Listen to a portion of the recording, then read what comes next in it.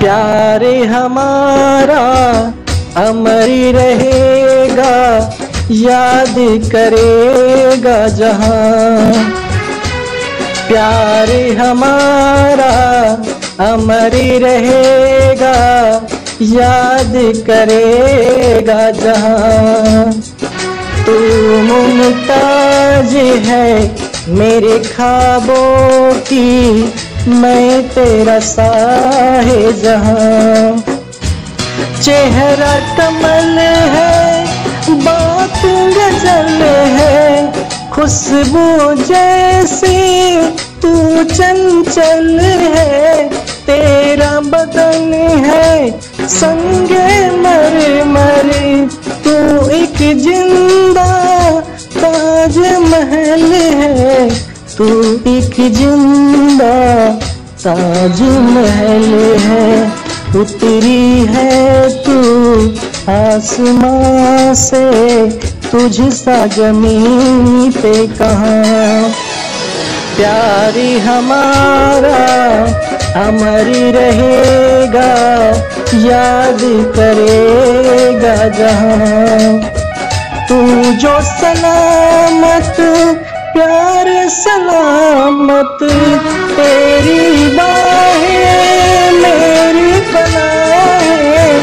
तुमने हमको इतना चाहा, और खुदा से हम क्या चाहें?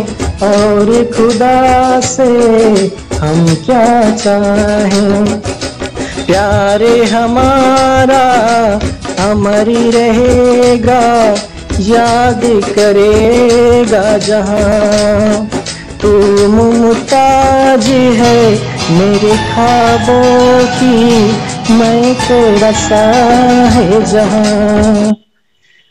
दोस्तों, इसका अर्थ भी मैं बताऊँगा, समझिएगा। मैंने क्या बोला कि प्यार हमारा अमर रहेगा, याद करेगा जहाँ। अर्थात दोस्तों, कुछ ऐसा काम करना है, कुछ अलग करना है। इस दुनिया की भीड़ से बिल्कुल अलग बना लो अपना। दुनिया की भीड़ से अलग बना लो। तो प्यार हमारा अमर रहेगा, याद करेगा जहाँ। दोस्तों, यह प्यार अमर का मतलब है, ऐसा काम करना है, ऐसा नाम करना है कि इतिहास के पन्नों में, स्वर्ण अक्षरों में आपका नाम लिखा जाए। इसीलिए मैं कहा कि मैं जो है किसी भी गाने को सुनता हूँ तो अपने लहजे में लेता हूँ। प्यार हमारा अमर रहेगा, याद करेगा जहाँ। तू मुमताज़ है मेरे खाबों की, मैं तेरा साहे जहाँ।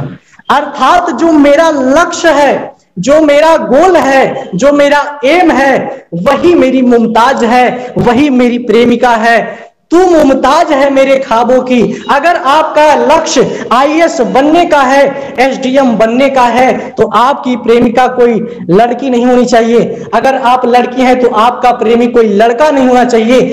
तू मुमताज़ है मेरे खाबों की।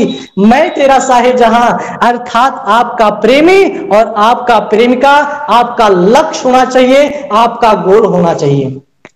अगली लाइन मैंने बोला, तू जो सलामत, प्यार सलामत दोस्तों, अगर तुमने खुद को अपने आप इस तरह से ढाल लिया, अपने आप को इस भीड़ से बचा लिया, तू अपने आप को सलामत कर लिया तू सलामत तो प्यार सलामत। अगर आपने अपने आप को इस भीड़ से अलग कर लिया दोस्तों तो वह निश्चित रूप से हज़ारों, आने वाले हज़ारों साल बाद भी लोग आपको भूल नहीं पाएँगे और आपका नाम जो है हमेशा हमेशा के लिए लिख दिया जाएगा।